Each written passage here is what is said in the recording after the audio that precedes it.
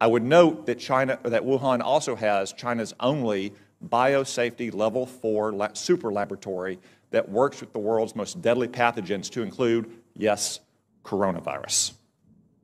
Yet China is still lying about all of this. They've been lying about it from the very beginning, and you don't need their history of lying about SARS in 2003, though it is relevant here. You just have to see what's happened over the last two months.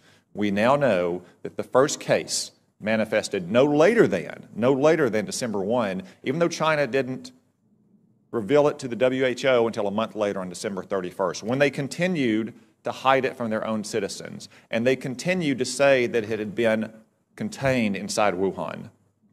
Today, it is in every single province in China.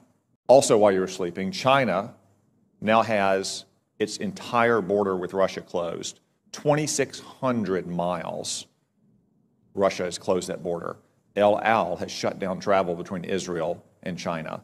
Air France has shut down China between travel between China and France. And that's in addition to all the other countries that have already shut down travel. From what we know so far, and there's still many unknowns, this virus could have both a long incubation period, as much as 14 days, and individuals could be contagious while asymptomatic, which was not the case with SARS in 2003. I want to talk about the biggest and the most important story in the world the Wuhan coronavirus. This coronavirus is a catastrophe on the scale of Chernobyl for China, but actually, it's probably worse than Chernobyl, which was localized in its effect. The coronavirus could result in a global pandemic. While you were all sleeping overnight, the number of diagnosed cases in China increased by 30 percent. Now, let me be clear, that's not new cases, that is just newly admitted cases. It is probably several orders of magnitude higher than that. Now, look at China's own actions.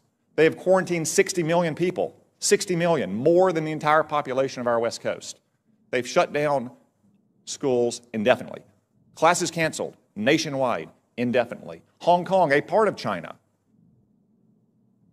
has basically shut down all travel from the mainland. That's why it is essential that we immediately stop all travel on commercial aircraft between China and the United States. Making exceptions, of course, for American citizens to come back, as we just brought back yesterday, allowing essential trade to flow as long as crews on ships and aircraft are not allowed to go into the general population in America, and making exceptions, of course, for medical personnel to go into China to try to get a handle on this.